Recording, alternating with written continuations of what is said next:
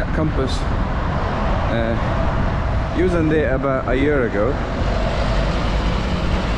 So they built it quite fast. Unlike the HS2 over here it's been going on for about four years.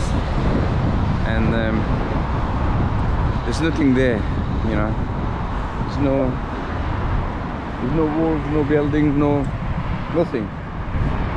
Just a blue fence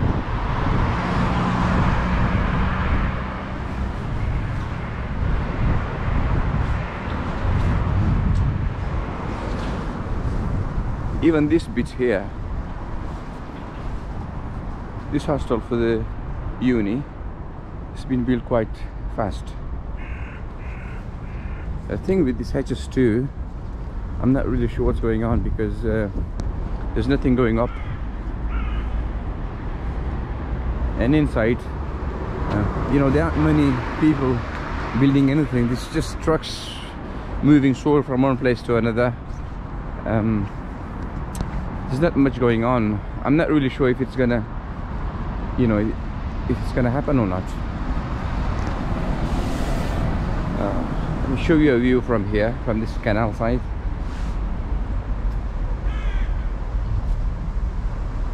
You know in four years you'll think that there would you know something would be there but there's not nothing there. There's actually nothing there. It's just these cranes and stuff there's nothing there to show that you know the building work is going on except the blue fences and the, JCBs that's moving about. There's, not there's not much you can see in the way of building works. So I don't know because this is the heart of it. And um, so far there's nothing there. So you know I'm, I'm really in a doubt that if this HS2 ever gonna take off.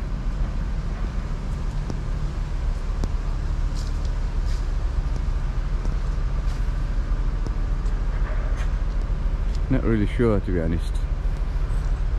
Because that old building over there um, was surrounded by uh, scaffolding for about a year. And then they took the scaffolding up and I thought they put some new windows or, or you know done something. But they haven't done anything to that building over there so I don't know what the scaffolding was there for. Still the same as you as before. I mean in other places they are building the bridges and the um, the tunnels. Uh, but it all starts from here. And there's, there's nothing there you know. I'm, I'm really I'm really confused. Because every time I come here I've been coming here for about four maybe about four years now. And in the four years there's you know there's nothing there really. I mean they could have done a lot in four years. I mean what I've just shown you in the beginning them buildings they build them in you know less than uh, two years about one year about a year and a half or so. But this HS2 I, I'm not really sure if it's gonna take off or not. You know a bit of uh, confusion. I'm not really sure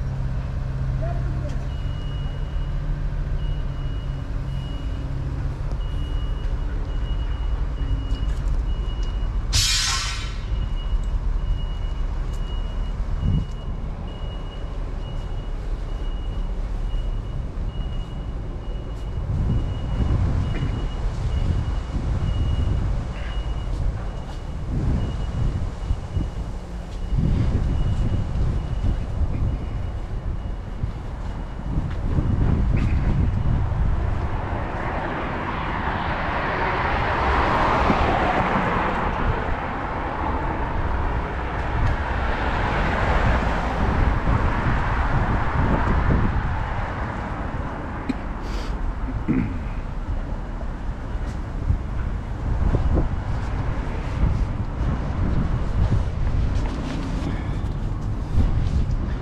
quite cold today.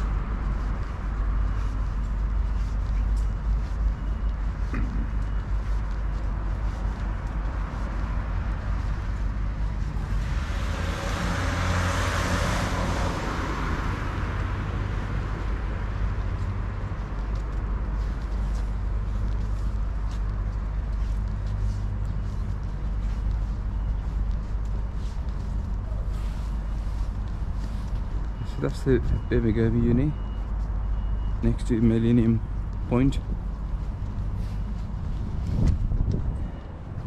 And this site is a very big site for the HS2. You know, sometimes I wonder if it's if it's, if it's going to be one of them uh, prefabricated buildings. You know, where they just put it, bring it in, and put it up in a few months. But I'm not sure.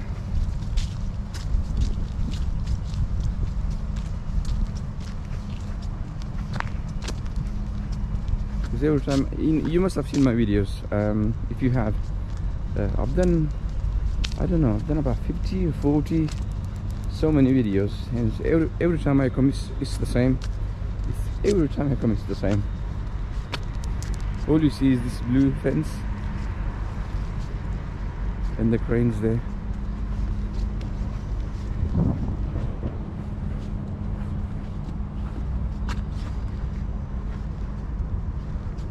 you know so the scaffolding that went around that old station there yeah i'm not really sure what the reason was for that.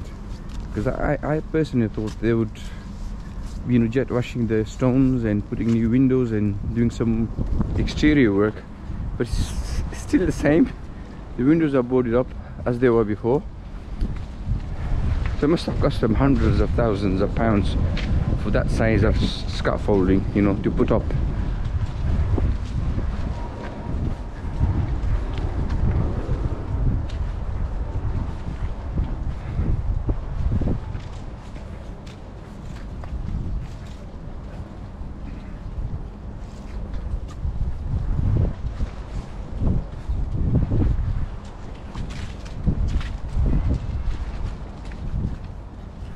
the other side of the this building the other side of the road they have you know they have made really nice car parks for the workers. And that's all they build car parks for themselves. We'll have a look in a bit. Just take my camera inside the site so you can so you can see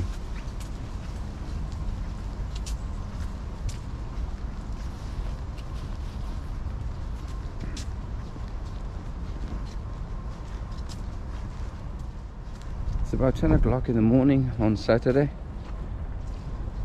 So it's uh, very quiet at the moment.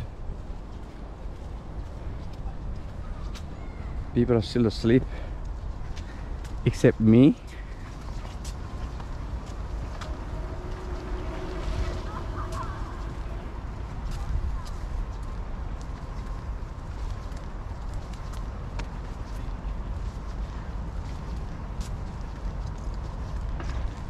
So this time I'm gonna go inside if I can.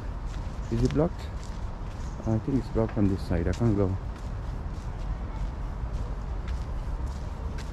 I think I can go around the pub. Hmm.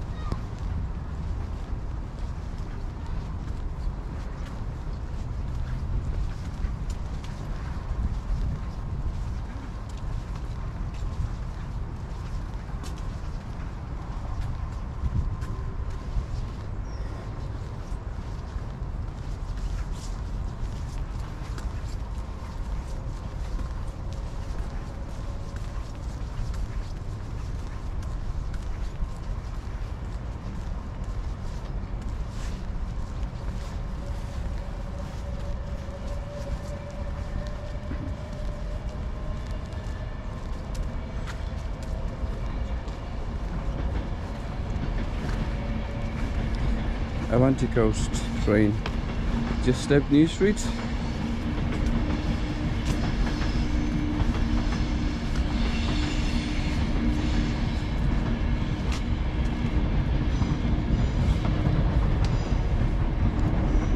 okay, let's have a peek inside. Uh, let me extend this thing so you can have a look inside.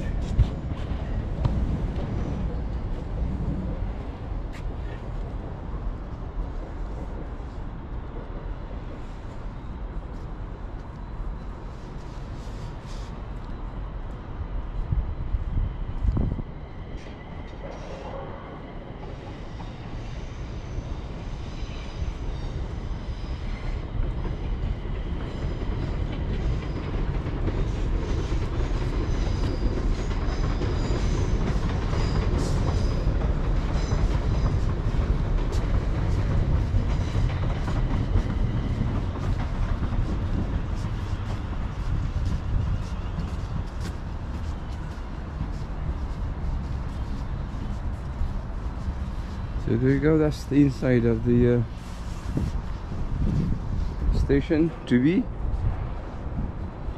If, big if.